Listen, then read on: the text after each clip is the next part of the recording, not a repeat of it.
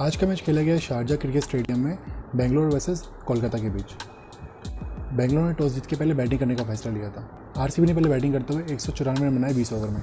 Partnership of Kohli and A B D वहीं के के आर बीस ओवर में केवल 112 रन ही बना पाई और इस मैच को बहुत ही आसानी से बेंगलोर की टीम ने बयासी रन से जीत लिया। तो चलते हैं अवार्ड सेरेमनी की तरफ़।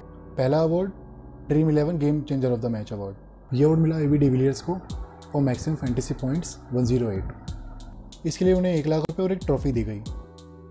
Second award Altroz super striker of the match ये अवार्ड भी मिला ए बी डिविलियर्स को strike rate two twenty one point two one इसके लिए उन्हें एक लाख रुपये और एक ट्रॉफी दी गई। Third award Unacademy mode six award ये अवार्ड भी मिला ए बी डिविलियर्स को फॉर सिक्स सिक्सेस इसके लिए उन्हें एक लाख रुपये दिए गए।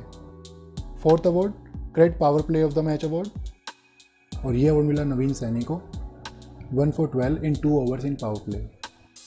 इसके लिए उन्हें एक लाख रुपये और एक ट्रॉफी दी गई। Fifth award, man of the match award. ये अवार्ड मिला एवी डिविलियर्स को for his excellent super performance इसके लिए उन्हें एक लाख रुपये और एक ट्रॉफी दी गई। वीडियो अच्छा लगे तो लाइक करिए। वीडियो अच्छा नहीं लगे तो डिसलाइक कीजिए मुझे कमेंट में ज़रूर बताइए कि आपका वीडियो कैसा लगा। और क्रिकेट से रिलेटेड और भी कंपैरिजन जानने के लिए इस चैनल को सब्सक्राइब ज़रूर करें। मैं मिलता हूँ आपसे नेक्स्ट वीडियो में. Till then take care